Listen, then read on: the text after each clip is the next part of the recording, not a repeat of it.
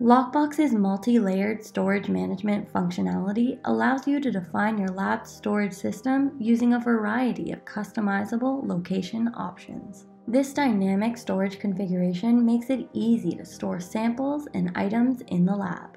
In this demo, we will explore sample storage using Lockbox LIMS. Starting in our Samples tab, we can choose a sample record from our list view.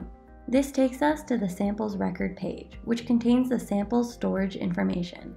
These storage details tell us where the sample can be found in the lab. Not only do we know what box the sample is in, but we know exactly where the box is located in the lab. By clicking the box ID, we are taken to the box's record page.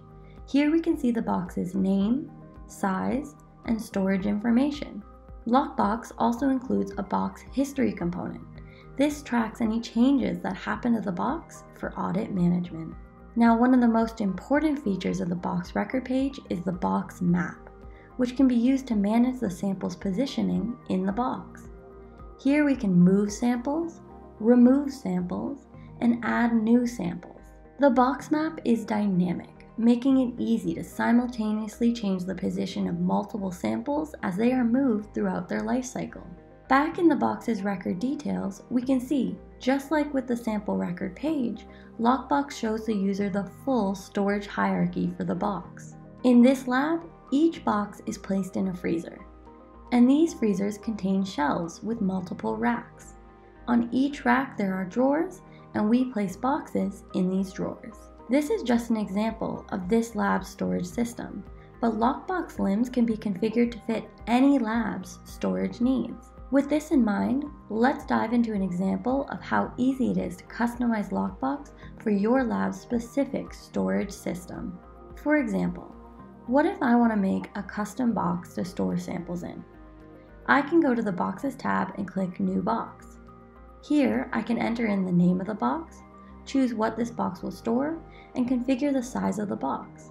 We will make a 5x5 box with 25 positions to store samples in. All I have to do is place this box in a drawer and Lockbox will automatically update all the related storage information, like what freezer that drawer is in. With my new box created, we are taken to the box's record page. Notice, all the storage information has been automatically populated. Now what if I wanted to add custom fields to this record page in order to store information for my lab's unique processes? I can do that in Lockbox LIMS with no coding required. All I have to do is click Setup, Edit Object, and now I'm in the Object Manager, which allows me to make changes to objects like boxes. I will click Fields and Relationships to make a new custom field. Now I have to choose what type of field I want to make. I can choose from a variety of data types, including numbers, text, checkboxes, formula fields, and pick lists. In this example, my lab does clinical trials, and I want to designate what phase of the clinical trial my samples are in when they get stored in a box. For example, if my samples are through phase 1 pharmacology, they should all be stored in the same box, and the box record page should show this information to the lab tech. This means I want to choose a pick list, so the users can scroll through and designate what phase the samples are in when they are being stored in a box. Now I need to name this field and enter in the values of the pick list. Once I'm done, I can click Save.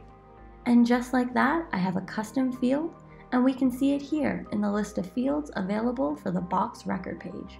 Back in Lockbox, I now want to add this field to my box record page.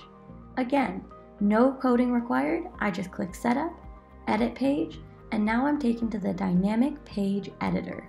Here we have our box record page, and in this editor we can customize all aspects of the page, from changing related lists, to moving, deleting, and adding new fields.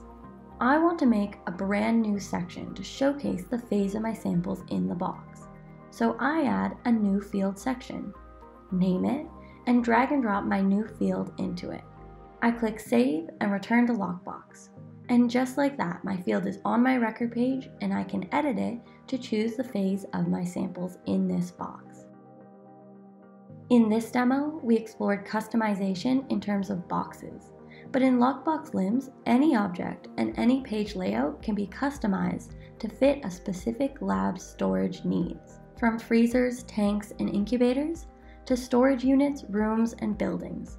Lockbox's point and click configuration editor allows users to create the storage hierarchies that fit their specific processes and equipment.